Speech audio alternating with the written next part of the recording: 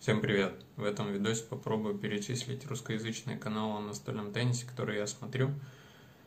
Это ни в коем случае не топ и точно не истина в последней инстанции, потому что я просто буду говорить свое мнение, там, что мне нравится, что не нравится.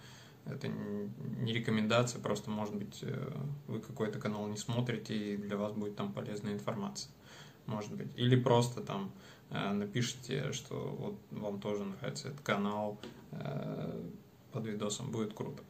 Ну и да, э, в режиме эксперимента э, лайкните видос, подпишитесь на канал. Говорят, это помогает продвижению видео. Итак, пойдем. В общем, самым, наверное, первым и самым популярным русскоязычным каналом о настольном теннисе является канал Артема Уточкина. Я ну вот, начал, наверное, заниматься настольным теннисом и его канал появился то ли одновременно, то ли чуть позже. И, конечно, долгое время это был, э, наверное, единственный самый профессиональный канал, и там must have смотрели, наверное, абсолютно все, и Артем там очень-очень-очень много дал полезной информации и каких-то инсайдов из профессиональной среды, и э, потому как он там тренирует детей, и по элементам то есть там э, получается у людей там все, ну вот у меня до этого был просто вообще вакуум в голове относительно техники, ничего нормально нельзя было найти. Вот, а у Артема там просто кладезь информации, кладезь знаний. Но с другой стороны, из-за того, что он, получается, был один, да, он профессионал, без сомнений, но ты только его мнение, получается, воспринимаешь как профессиональное, альтернативных мнений у тебя нет, и может быть там какие-то его советы не всем подходят. Ну, то есть он же профессионалов тренирует. Для любителей, например, может быть где-то это не актуально. Или, например, там э, человек уже там с какой-то техникой, ему может эту технику не стоит ломать и там переучиваться с нуля, а возникало именно желание все делать так, как говорит Артем Уточкин. И, возможно, а Артем же с вами там не разговаривал, не смотрел лично вашу игру. Он, конечно, там советовал, э, там продавал курсы, кто-то его за это хвалил, кто-то ругал, э, но он не может знать за всех сто процентов, а э, можно было воспринимать его информацию как ну, потому что другой не было, сравнить было не с чем. Вот, поэтому, но его канал, конечно, топовый. Там со временем, как мне кажется, там уже просто стало нечего особо советовать, потому что он выпустил миллион видосов по топ-спину справа, потом миллион по топ-спину слева, и там уже какие-то избранные советы, потом у него много информации в курсах, не может же он, например, там э, что-то, не все он может, в общем, рассказать. Вот. Много рассказал про звезд настольного тенниса. Очень интересный у него был блог «Обратная сторона игры», в общем, там очень много контента, и если там люди только-только погружаются в настольный теннис, там, конечно, Артему надо смотреть, э, потому что там очень много интересного. Вот. А сейчас он, последняя, у него очень популярная, я бы сказал, рубрика про легенд настольного тенниса. И там эти видосы уже интересны, я так понимаю, не самим, даже не столько не только теннисистам и собирают там что-то какое-то очень большое количество просмотров. Вот. И это здорово, потому что привлекает людей к настольному теннису. И еще, как мне кажется, с Артема, ну, я не знаю, потому что я в настольный теннис окунулся вот только в тот момент, но вот как появился Артем Уточкин, все сразу захотели быть, ну, окей, не все, но многие захотели быть более техничными, больше работать над техникой, чтобы технично играть на настольный теннис, чтобы на него было приятно смотреть. Это здорово.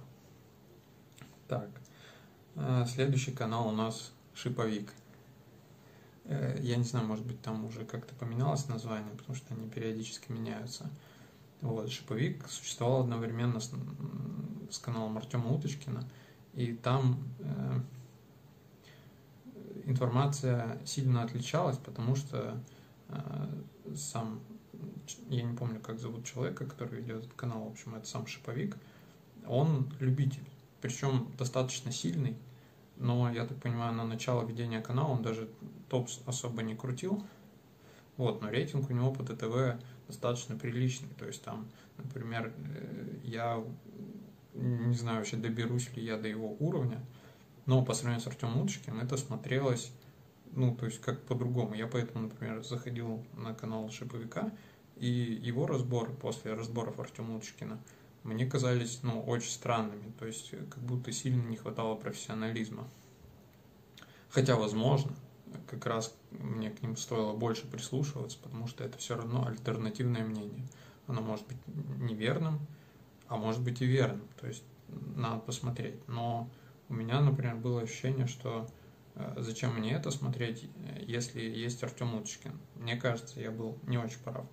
Опять же, э, у него там тоже сильно менялось, там, если его э, потом где-то там травмировал руку, по-другому снимал видосы, там какие-то трансляции были, тоже много всего интересного. Про инвентарь рассказывал, как минимум больше, чем Артем Уточкин в какой-то момент. Тоже интересный канал, тоже, наверное, один из самых многочисленных. Кстати, последние видосы у него были, он разбирал игры э, ну, каких-то своих, я не знаю, друзей или подопечных, он там просто кого-то секундировал. Вот, и там очень грамотные разборы. То есть вот сейчас мне это понятно. Я не знаю, как было несколько лет назад, потому что я глобально не смотрел. Но, в общем, там мужчина тоже э, знает, что говорит. Э, а, ну еще он там про шипы рассказывал, про которые я только сейчас, наверное, что-то начинаю понимать, и тогда вообще, конечно, провал. Так, следующий тоже достаточно многочисленный канал в настольном теннисе – это Вениамин. Э, я так понимаю, э, канал ведет один человек, а основное лицо, которое вещает на этом канале – тренер Владимир, фамилию не помню. Тоже, в общем-то, много интересной информации, тоже какая-то альтернатива, кстати, Артему Уточкину, потому что, э, ну, тоже человек профессиональный тренер, он говорит свое мнение, оно может там совпадать, не совпадать, быть правильным, неправильным, но, но оно альтернативное. С чем-то можно соглашаться, с чем-то нет.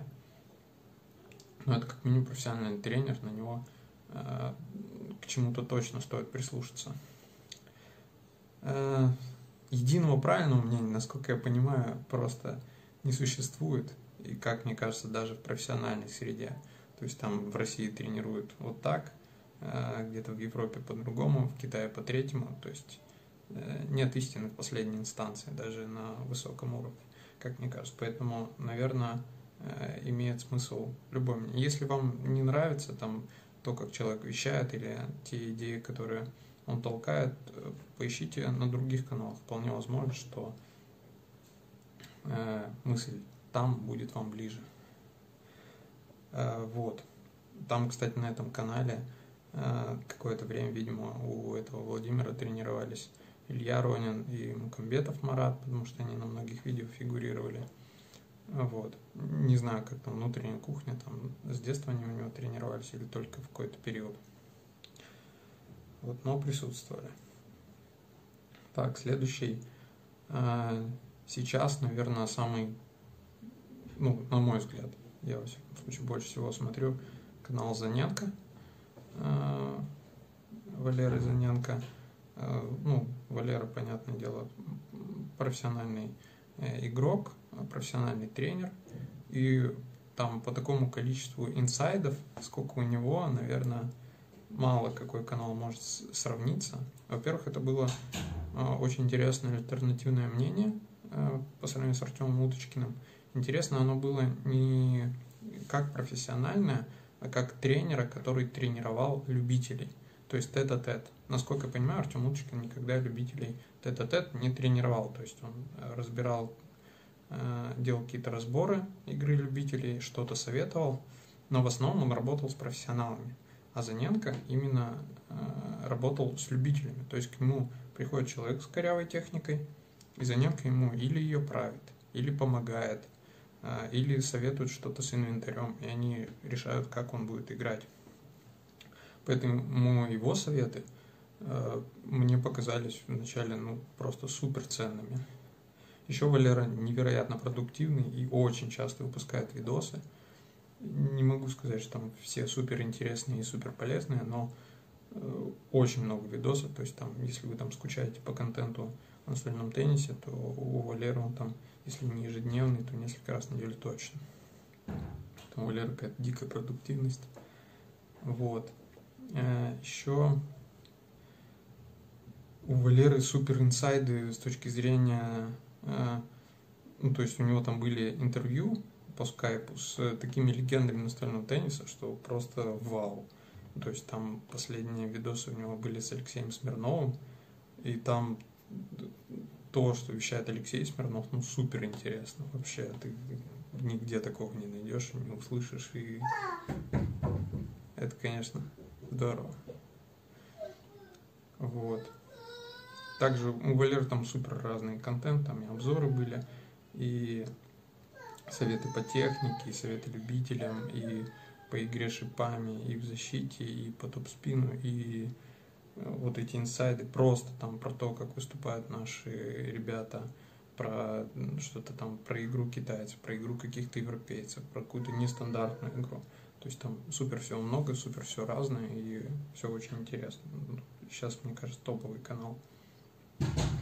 Э, не менее интересный э, канал Алексея Силантьева, э, но Алексей просто реже выпускает видосы, но зато, например, у него он всегда снимает на очень качественную камеру, и там всегда супер качество, особенно к тому же Алексей видимо, я не знаю, как стоит, но он часто тренируется, либо присутствует э, на тренировках э, тоже наших звезд, там, Скачков, Шибаев, э, Кацман, и посмотреть на наших звезд, когда вот человек записал на хорошую камеру, еще и замедлил, и нам показывает, ну, тоже дорого стоит, как бы нигде вы такого не увидите, тоже супер инсайды.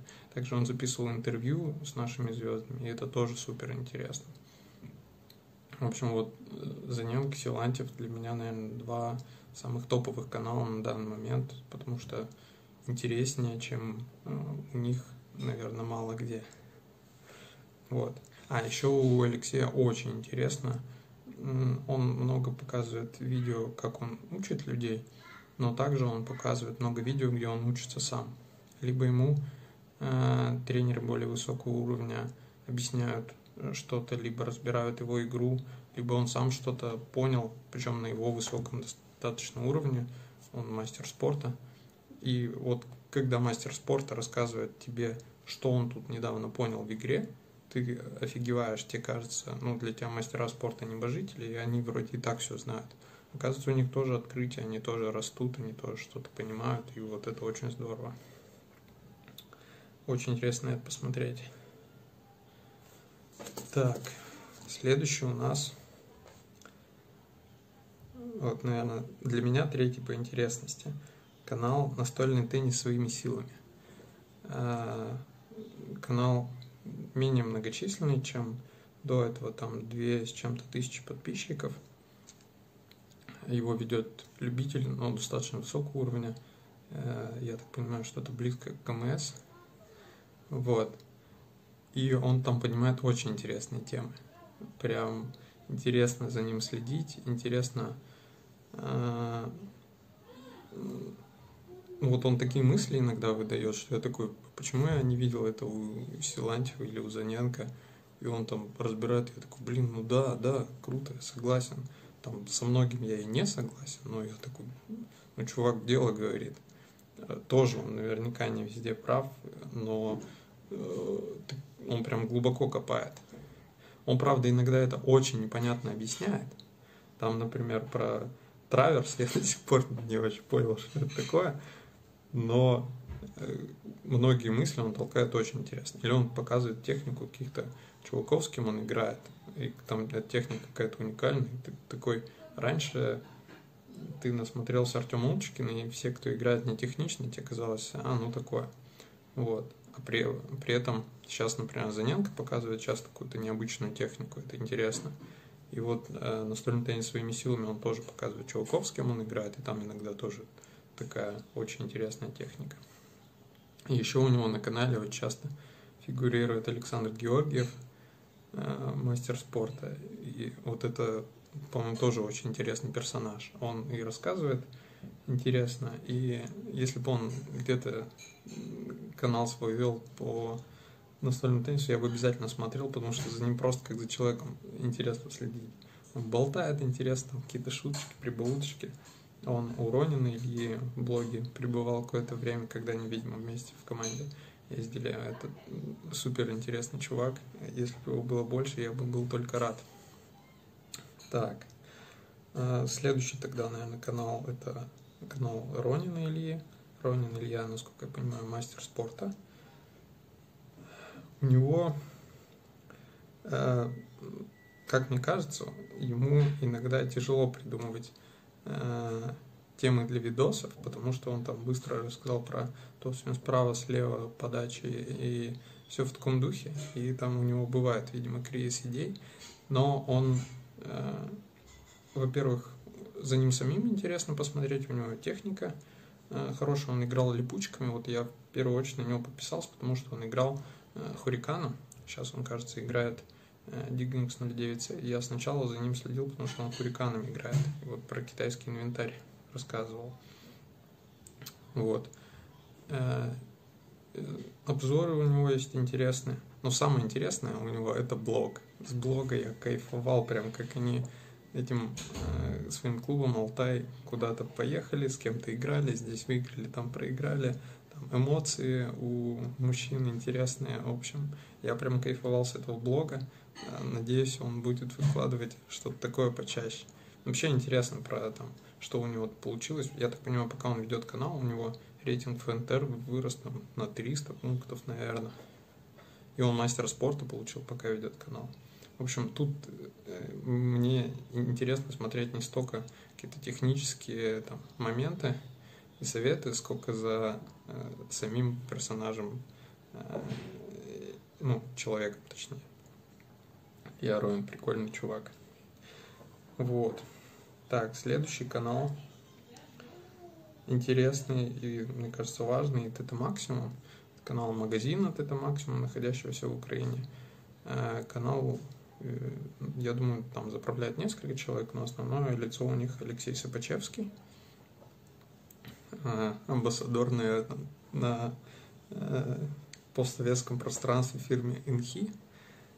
Вот у него, во-первых, видимо, он какие-то еще спецзаказы делает, потому что какие-то накладки можно найти только у него. Не знаю, как у них там договоренность, но очень интересно. Вот у него э, на канале Тета Максимум супер много обзоров э, китайского инвентаря, в частности инхи, то есть там большую часть э, информации, которую я знаю про китайский инвентарь, мне кажется, я получил с этого канала, поэтому очень много полезной информации.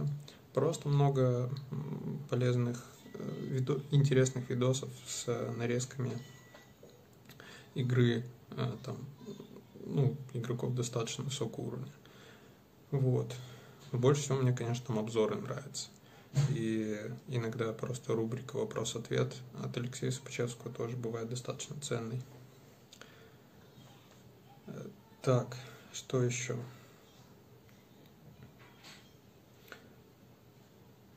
А, так, сейчас у нас пойдут, наверное, менее многочисленные каналы. А, наверное, уже до тысячи большинство последующих.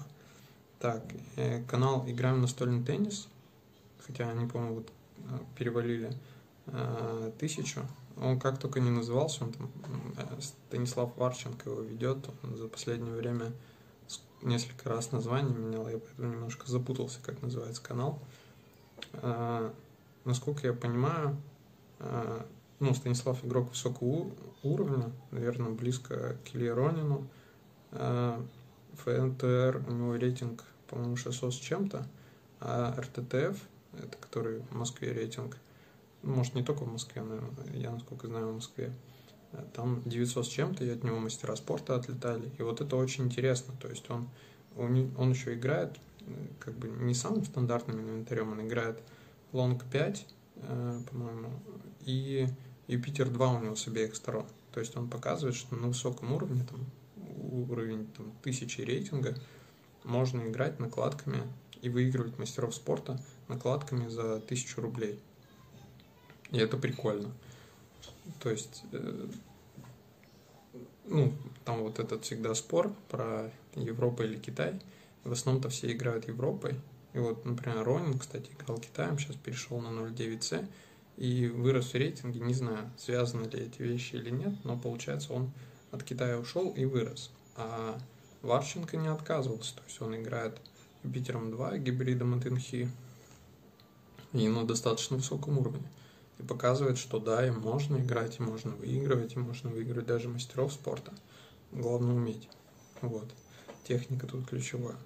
Ну, помимо своих игр, он также выкладывает обзоры инвентаря, э, какие-то технические элементы в последнее время начал выкладывать, и достаточно интересно. Потому что, грубо говоря, про топ-спин справа мы видели везде много и всего, а там, как там, короткий прием справа, не супер много видосов, и тут полезно. Так. Еще чуть не забыл, э, очень полезный канал, вы его наверняка смотрели, даже если не знаете про это, Леха Фес. Там записи игр Э, по-моему, из э, российского чемпионата и просто из клубов. Ну, там просто хорошая запись игр, качественная, бывает с многих ракурсов, э, с хорошего угла.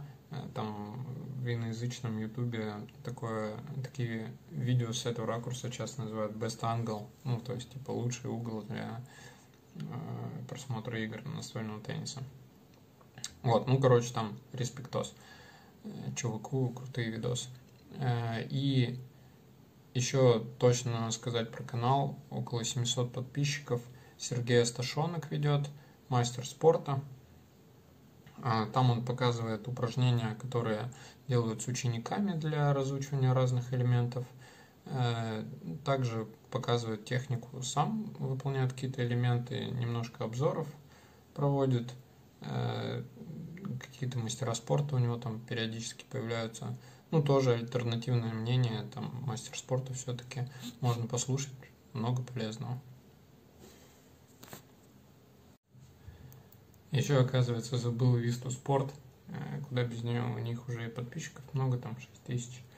И игроков они приглашают именитых, инвентарь обозревают – ну там вот обзоры инвентаря почему-то скучные. Не знаю, мне скучно смотреть обзоры у Виста Спорт.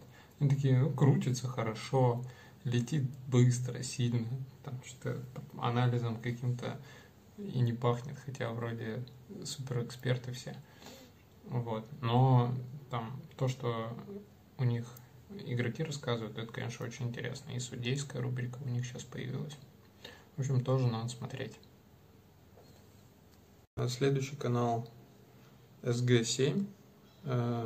На канале около, если не путаю, 700 подписчиков. Э, его ведет любитель, ну, получается, не самого высокого уровня, он играет пару лет, там, по-моему, 400 РТТФ у него. Вот. Э, ну, я не говорю, что он слабый игрок, я имею в виду Э, в сравнении с всеми предыдущими, то есть там часто мастера спорта и так далее. То есть тут любитель-любитель. Тоже в основном рассказывает про китайский инвентарь, я поэтому смотрю тоже много про инхи. Достаточно продуктивный, много, часто выпускает видосы, рассказывает свое мнение, тоже можно соглашаться, можно не соглашаться, но принять к сведению интересно. Там же еще всегда невозможно снять обзоры абсолютно на все есть э, и там прочитать даже. Бывает, тебе интересна какая-то накладка, ты можешь просто, не можешь просто нормальный обзор найти на русском языке. Можно, конечно, по-моему, из Индонезии, что ли, я смотрю периодически обзоры, но у них нет английских субтитров, они там что-то на индонезийском базарят. Ну, прикольно, конечно, можно посмотреть, как они на столе играют, но какую-то информацию почерпнуть это, из этого сложно. Можно на рифспине смотреть, но даже на рифспине не ко всем накладкам и доскам есть адекватные обзоры, сравнения и так далее. Поэтому э, вся вот эта информация там собирается, мне кажется, по крупицам, смотришь все, в итоге формируешь какое-то свое мнение. Так, И, наверное, последние два канала перечислю, а то что это долго базарю. А, Максим ТТ, э, около 70 подписчиков. Там парни хорошего уровня, я так понял, у них рейтинг что-то около 700 пунктов, то есть что-то близко к МС. Вот, там просто интересно посмотреть за их играми, у парней хорошая техника, круто играют. Э, и немножко рассказывать про инвентарь, там тоже, по-моему, Китаем. Сейчас они, э, ну, основной человек, который канал ведет, Максим, играет, э, по-моему, Юпитером, корейск, который для Кореи. Вот, тоже интересно. Еще мне нравится канал Дмитрий Сдобнов, тоже около там 600 или 700 подписчиков. Э, не очень часто видосы выпускает, но мне нравится, что у него все видосы достаточно короткие, там по минуте, и там просто насыщенная техника, он показывает, там, как делать топ-спин справа, топ-спин слева, э, какие-то нарезки китайцев, э, просто посмотреть, как технично делать. Ну и опять же, насколько я понимаю, он мастер спорта и там тренирует в Москве, показывает, там, как ученики тренируются. Тоже полезно. Вот, э, в общем, э, какие каналы смотрите вы, можете написать в комментариях, наверняка я что-то забыл, э, или про кого-то просто не знаю, напишите, будет интересно. Всем пока, всем удачи.